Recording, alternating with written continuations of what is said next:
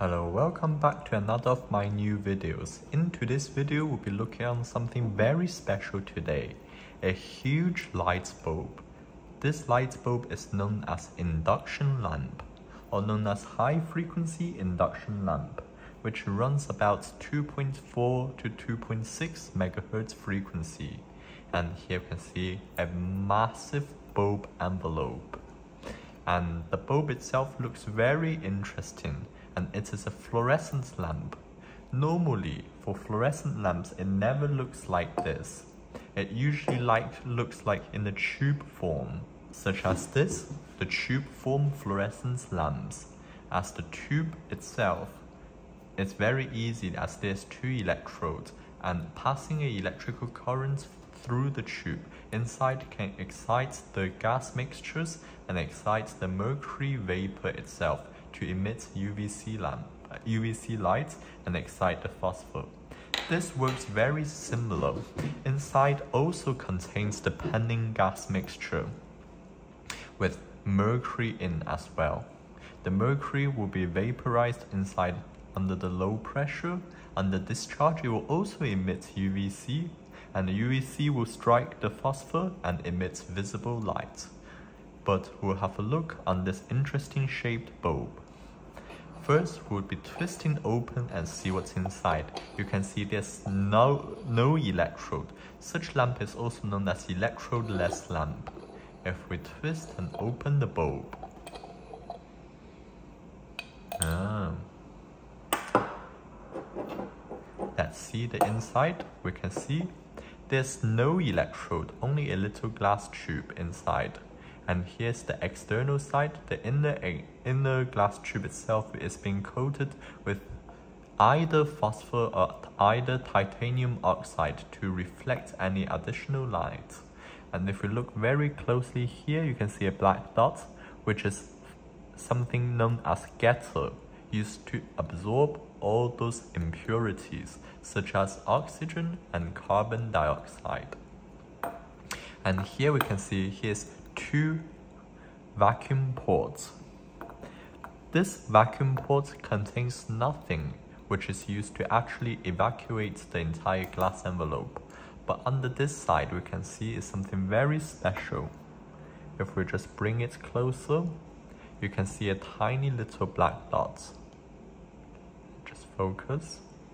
Yep, this tiny little black dot, if we take ourselves a torch, give it more light, you can see is basically known as mercury amalgam.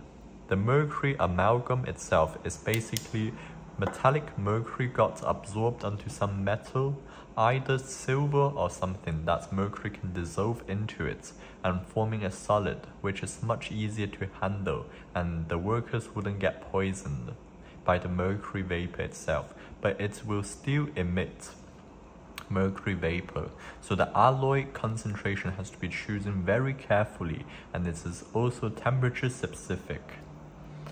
And now go to the main part, the heart of the electric, electrodeless induction lamp. This thing, known as a magnetic coupler. This coupler itself, you can see, is made of some wires or coils wrapped around this black cylindrical object. This cylindrical object itself is known as a ferrite core.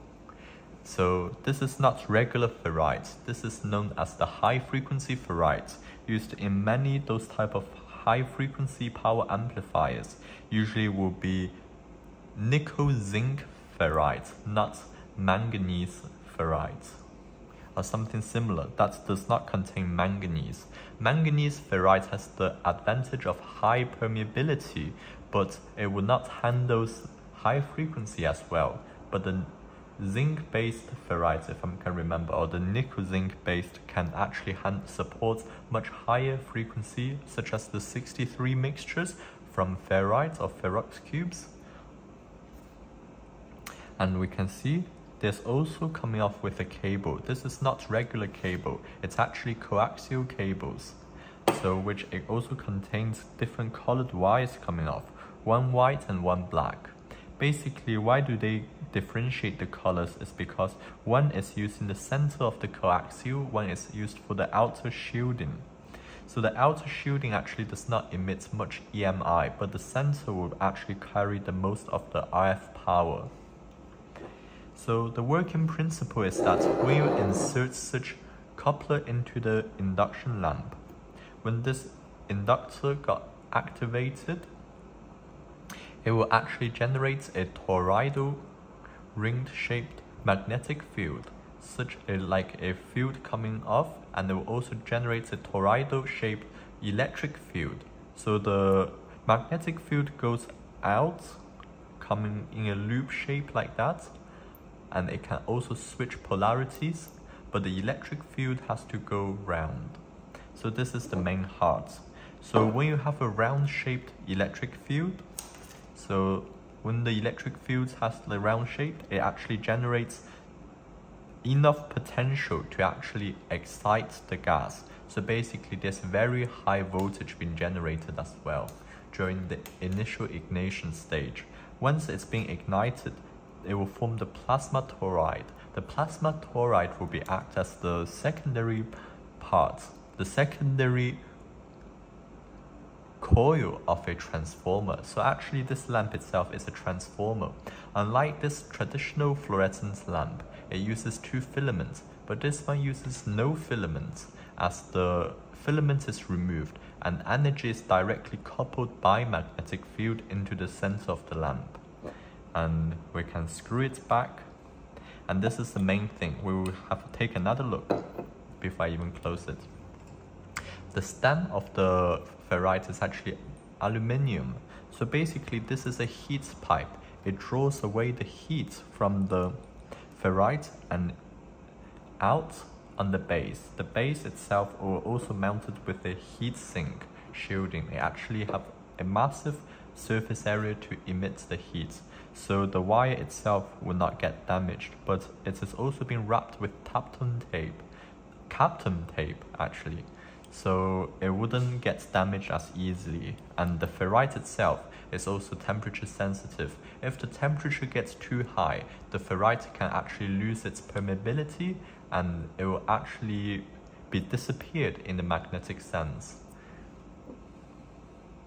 So if we screw it back, be really careful, do not break the stem. If you break the stem, you're screwed. Basically the bulb, bulb itself is screwed.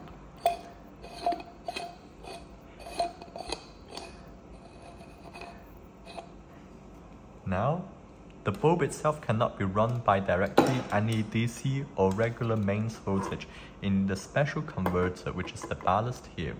The ballast is very interesting. It has a very interesting internal components and selection circuitries to drive this bulb. And we'll be tearing it down and have a look the inside of this ballast. Here is the internal circuitry of this induction lamp ballast. We can see the mains voltage about 220 volts or 240 volts will enter via this terminal here and pass through the fuse if anything goes wrong on the later stage. And it's passed through a common mode choke with some filtering capacitor and some voltage regulating device which prevents a certain peak in voltage. And here is the two bus capacitors acts in the half bridge mode. Here the full bridge rectifier will be charging the capacitors up about a 320 volts, probably maximum out of the term terminals, when halved will be about 160 volts and goes through this main driver circuitry diagram here. So here we can see is a the main ballast choke. The choke itself will act in the resonance mode called LC series resonance mode with some of the resonance capacitors probably here and one of the bypass capacitors here and providing the feedback with a single turn of copper wire and the frequency will be mainly generated by using this tor toroid. The probably similar working principles to a regular CFL bulb, but this time the frequency is much higher, it's about 2.6 megahertz, so therefore the device uses special MOSFETs we can see on the base. Yeah, if we go to the other side, you can see some mounted plastic casing MOSFETs with some also some SMD capacitors inside as well but mainly this thing acts as a big heatsink. And mainly the frequency will be regenerated by this toroid, probably has a much lower permeabilities, so allows the resonance frequency to be much higher in order for this LC circuitry to work correctly and here is a starting post circuitries used to first post start the entire circuit when plugged in. And out of this terminal here will be connected to the main magnetic coupler of the induction lamp, which is basically an inductor or known as the primary side of a induction lamp. The secondary side will be the plasma toroidal ring itself. And now you had a look on the inside of this lamp. What we need to do is now connect the bulb correctly to the correct terminals. If we can see here, it's very misleading. If we just turn on a flashlight, oh, it's too bright, is it? Yeah. So it says about output, but it's 220 volts and 50 hertz. It's absolutely misleading. It should be inputs, and this side could be output, is it? Yeah, it's correct and we can see it says white here and black here with the black dots which the black if I'm right is basically the shielding. It emits the least EMI so let's reconnect this bulb. And here we go. Everything is being con connected correctly to a power supply. That output the exact voltage it needed about 220 volts. And it is insulated as well. So no need for the earth connections, as well as it has a current limiting, so if it exceeds 1 amp, the power supply will be shut off.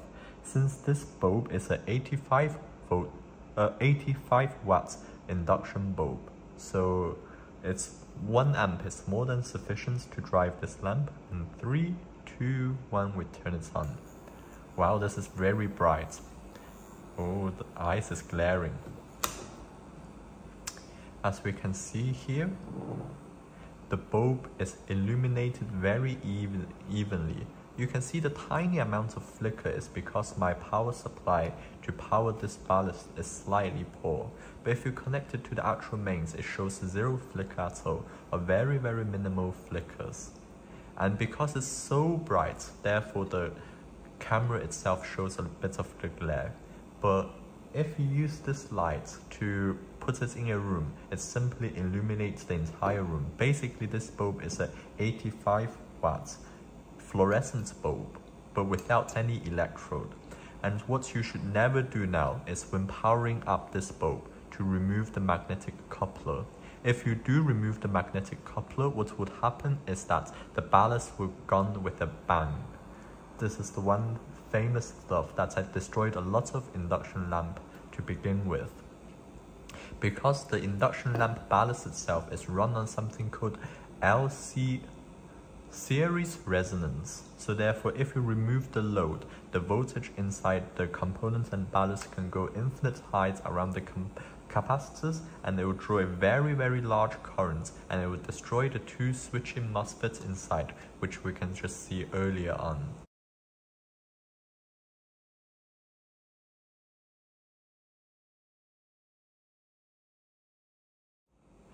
And to turn it off, it's very simple. Just turn the power supply off.